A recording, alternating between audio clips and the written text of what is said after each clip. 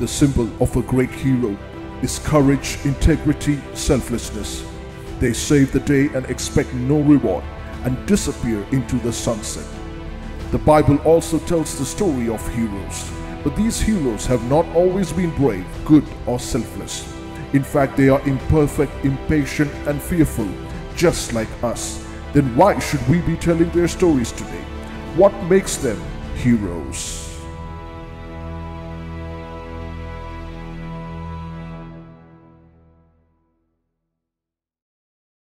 Welcome back to the series Heroes of Faith. I thank God that you are still here, part of the series. And today we are in week eight of the series. Week one, we looked at Noah's obedience to God. Week two, we looked at Jehoshaphat's faith, courage, and wisdom. Week three, we looked at Abraham and how, against all hope, Abraham still believed in hope. And week four, we looked at Moses making faith choices. Week five, we looked at Ezekiel faith and intimacy with the Holy Spirit. Week six, we looked at Elijah, faith and provision, how God provides supernaturally. And week seven, that is last week, we looked at from the life of David, how by faith David killed the giant, the giant killer. And today is week 8. But before we go into the message, I just want to wish all the amazing fathers out there happy Father's Day. Uh, indeed, it is a great privilege, uh, uh, you know, to be a father. Me uh, being a father myself, I've been a father just for the last year and a half now. We got a year and a half old uh, baby, Zion and she's given me this greatest privilege uh, to enjoy fatherhood and uh, she's absolutely beautiful thrilling and she keeps our life so exciting so i thank god for zion and for zion to give me this precious gift of fatherhood and i thank god for all the great men and fathers out there. And I also take a moment to thank all my spiritual fathers. You know who you are if you're watching this online for uh, mentoring me, leading me, supporting me, praying with me, and believing in me uh, through this time uh, and, and throughout my life, even. Uh, so, thank you to my spiritual fathers for being there and for praying with me and pr- believing in my life and uh, speaking some things into my life and for that to prosper uh, through the blessings of God. So I thank God for that. Today, uh, we're going to go into God's Word, and today we are um, going to look at a title, um, and I have titled this sermon, Persistent Faith, right? Persistent Faith. Um, if you um, or a father, or a husband, you know, um, and, and this message is relevant for everybody, not just fathers. Uh, it is relevant for everybody because in order to be a great father, it takes a great man to be a great father. So it takes manhood to go into fatherhood.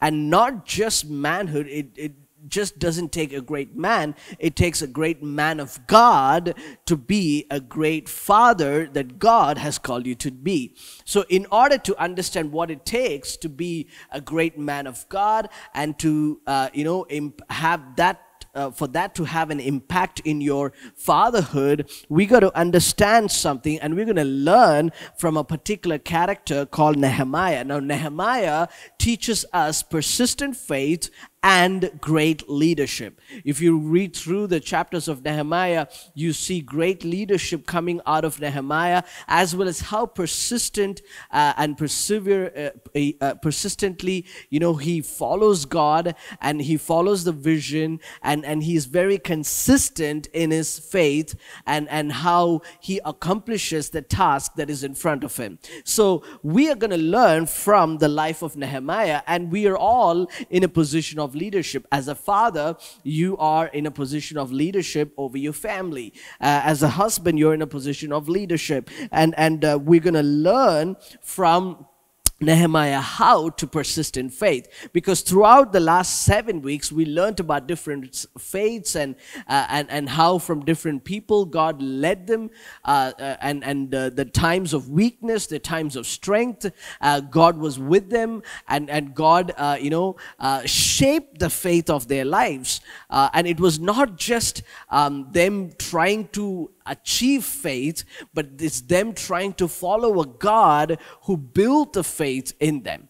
So it is amazing to see how people, various characters from the Old Testament, uh, had their faith life shaped.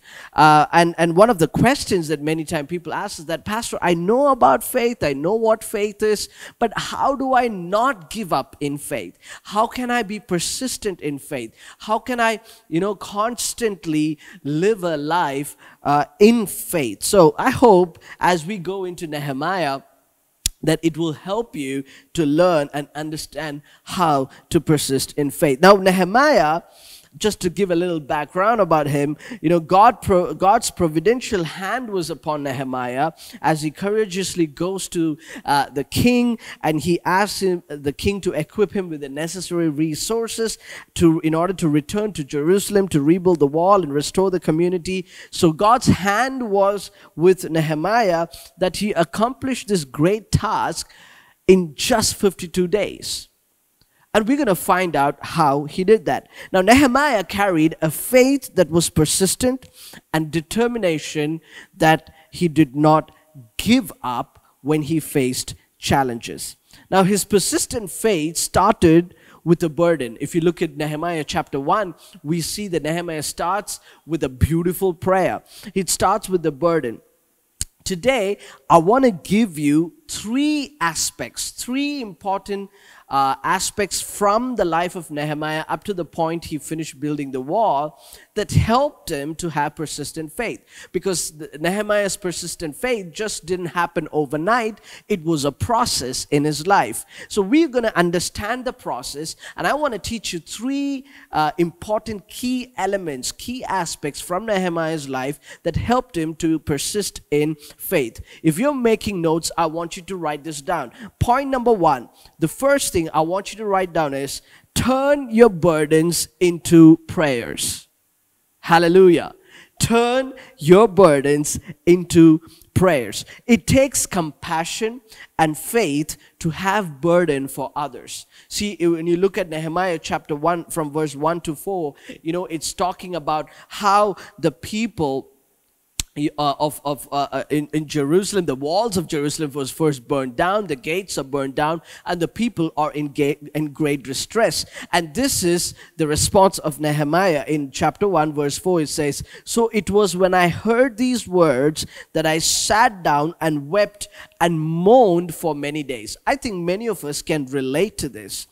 You know, natural human response of Nehemiah it was not like Nehemiah always had faith moments and always was like, you know, going for God and, and he never cried, he never had emotions, he never had feelings. No, no, no. Nehemiah had feelings. Nehemiah had emotions that he went through. Nehemiah had days of weeping and moaned, right? And, and he says, but then in the later part of that verse, in in verse uh, in the second part of that verse in verse 4 he says but i was fasting and praying before the god of heaven. Now here is nehemiah who's turning his burden into prayer. Nehemiah realized that that burden he had for the people of jerusalem that for, for his tribe for his people he realized that his burden gave him a vision but when you look at from the outset, as we read it from the outset, maybe Nehemiah did not realize it at that time. All he knew is that I need to make this right. Lord, help me. I need to do something about this. So he allowed his burden to set a direction for his life, which then became the vision for his life. Nehemiah turned his burden into a vision. Now, this is what Nehemiah did. Nehemiah found favor in the eyes of the king, and he goes and asks for sanctions. He, first of all, he's the cupbearer to the king, and the king sees him, and you can read this in uh, Nehemiah chapter 2, that he, looking at his face, he's a little sad about something, he's depressed. He's not been sleeping, he's been praying, he's been crying. Probably he had swollen eyes. So the king looks at him, Hey, what's up, Nehemiah? You don't look the same. So Nehemiah, as he's pouring the wine for the king, he's just saying, Hey, listen, uh, uh, king, we have some issue in Jerusalem and I need you to let me go and rebuild the wall. And, and the king then asks, okay, what do you need? And Nehemiah just gives this list of things that he needs sanctions for as if he was, he was like prepared, he was ready because he did not sit with his burdens. He turned his burdens into prayer, and that prayer built faith in his life, which later drove him to turn those prayers into action. A lot of us are sitting with burdens in our heart, and you're letting your burdens turn into depression. You're letting your burdens turn into sadness. Rather, take your burdens in prayer to God, which later makes, which, which what will happen is that your prayers will then get converted into a point of action through the faith that you receive when you go to the presence of God. I hope I'm making sense to somebody because Nehemiah did not sit with his burdens, but rather his burdens gave him a vision, and the vision led him to his people in order to rebuild the wall. It built his faith, it gave him a vision, it gave him a cause, it gave him a reason, it gave him a direction for his life. What is leading your life today? Are you letting your burdens lead your life into depression, into sadness, into worry, and into making you feel like you can't do anything about it? Or can you take your burdens in prayer to God, turn them into prayer, so that through prayer and the presence of God, you receive faith, which then turns into action? What are we doing with our burdens? Now, Nehemiah receives all the sanctions that he needed from the king. And here's step two that Nehemiah does. Step one is turn your burdens into prayer. And step two, I want you to write this down. Your adversaries are there to strengthen your faith. Your adversaries are there to strengthen your faith. When you look at Nehemiah, we move on into chapter 2. Now, Nehemiah got the sanction from the king, got everything ready and sorted to go. And then, if you read in Nehemiah chapter 2, verse 10, it says, When Sanballat, the, the Horonite, and to- Tobiah, the Ammonite official, heard of it, they were deeply disturbed that a man had come to seek the well being of the children of Israel. Here is two characters now, the adversaries, the challenges that God uh, probably allowed to happen in Nehemiah's life, and not to slow him down, but to strengthen his faith. When you move forward in faith towards the vision that God has placed in your life, you will face characters that will mock you. You will face characters who will challenge you. You will face characters who will talk you down. But remember, those characters, God has placed them in your life not to stop you, not to harm you, but to strengthen your faith. Don't let your challenges discourage you.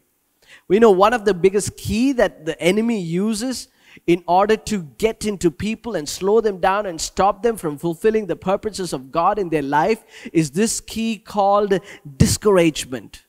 He brings discouragement into your life and he causes this overwhelming sense of feeling that everything is going wrong because of just one thing and you constantly feeling discouraged about everything and, and, and, and that discouragement, that emotion then leaks into your marriage, it leaks into your children, it leaks into your family, it leaks into your uh, church, it leaks into your working environment, it leaks into your sense of leadership, it leaks into everything that you do that you feel drained, you feel discouraged, and you stop moving in faith. Don't let your adversaries, don't let your challenges, don't let your enemies stop you, but rather strengthen your faith. Come on, somebody shout amen. Now, see in Nehemiah chapter 2, if you go down a little bit from to verse 18 and 20, it says, And I told them, this is what this is Nehemiah speaking. And I told them the hand of my God, which had been good upon me. Now Nehemiah is confident about the hand of God over his life and also of the king's word that he had spoken to me. So they said, Let us rise up and build. Then they set their hands to this good work. Now, here is Nehemiah raising a bunch of people to rise and build up. And, and when he's doing this good work, here comes the adversaries. Here comes the challenge. He says, But when Sanballat and Tobiah, the, the Geshem, the Arab, heard of it, they laughed at us and despised us and said, What is this thing that you're doing? Will you rebel against the king? So I answered them and said to them, The God of heaven himself will prosper us. Turn to somebody and tell them, look at them and tell them. If you are a father, pray this prayer over your wife and your children and your family. Pray this over them and say, The God of heaven himself will prosper us the God of heaven. Turn to the person next to you. Tell them, if you're watching on your own, just, just shout it out. The God of heaven will prosper me. Put your hand over your head and even bless yourself. Put it over your heart. Bless yourself. The God of heaven will prosper us. Therefore, we, his servants, will arise and build. Now, nothing is stopping Nehemiah. Nehemiah is persistent in his faith. Even when the officials, even when Sanballat and Tobiah is against him and trying to stop him, mock him, laugh at him, and their agenda is to stop the progress of Nehemiah, Nehemiah is saying, confidently that the God of heaven himself, I don't need you or the, you know, or, or the favor from others. I know that God's hand is upon this because I have seen even the king favor this. So I'm going to keep going. We will arise and build.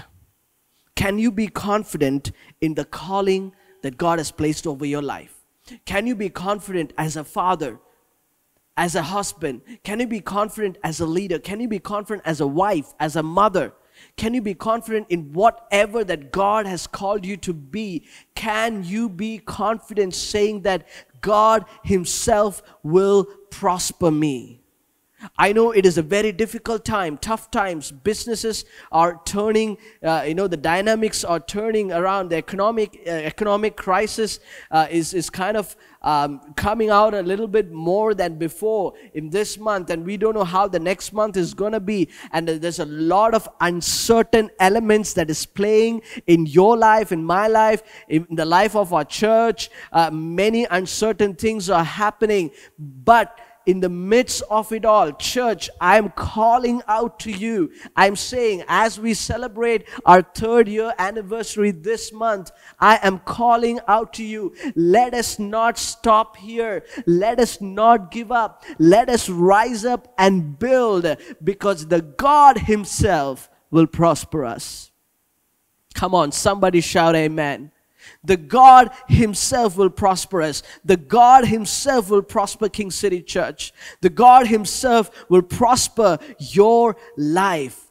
Be confident in the faith be confident in the hand of God that is over your life, over your family, over your children. You might be going through diseases. You might be going through challenges. You might be going through coronavirus. You might be going through uh, a loss of job. You might be going through financial crisis. But my friend, my brother, my sister, listen to me. The Lord's hand is over your life. He is not planning to let you down. He has never let you down before, and He is not going to do it now.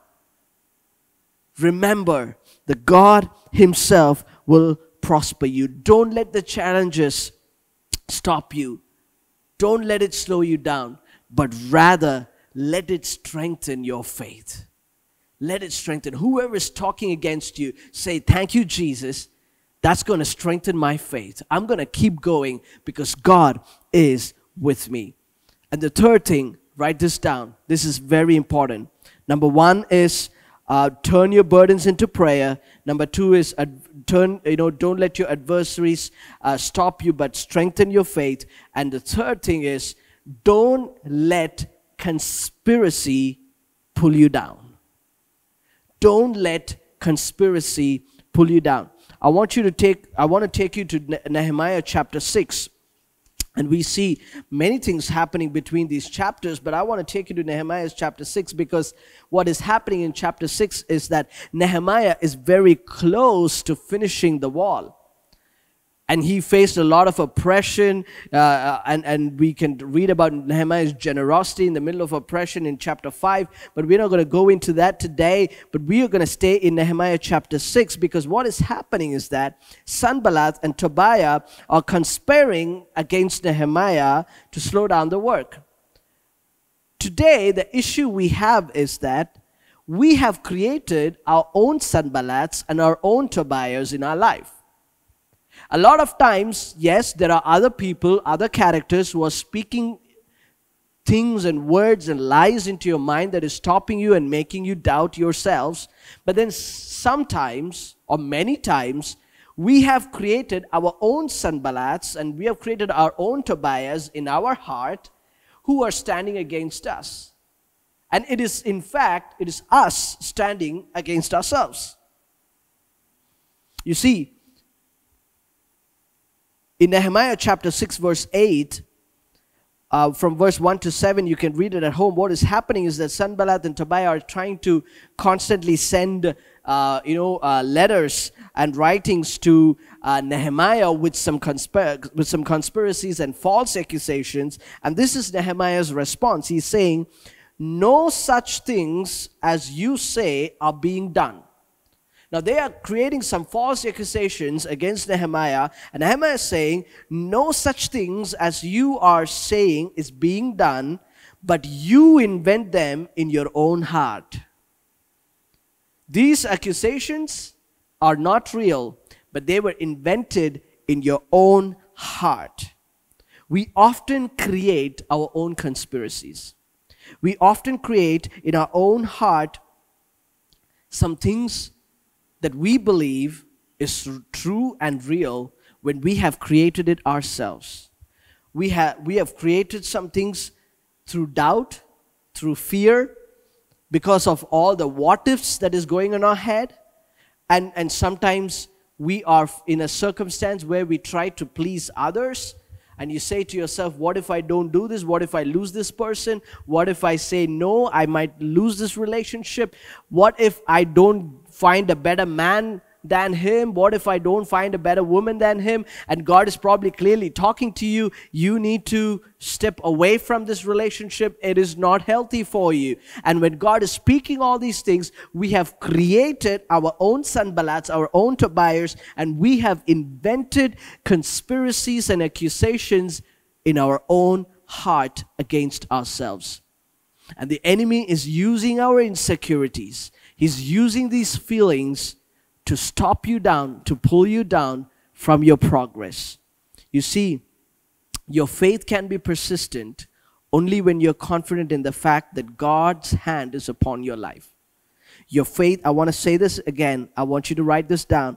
Your faith can be persistent only when you are confident in the fact that God's hand is upon your life. Nehemiah was confident. You see in verse 15 in the same chapter, it says, The wall was finished on the 25th day of Elul in 52 days. The wall was done in 52 days. It was over. It was the work is done. But meanwhile, there were so many circumstances, challenges that came against Nehemiah to stop him.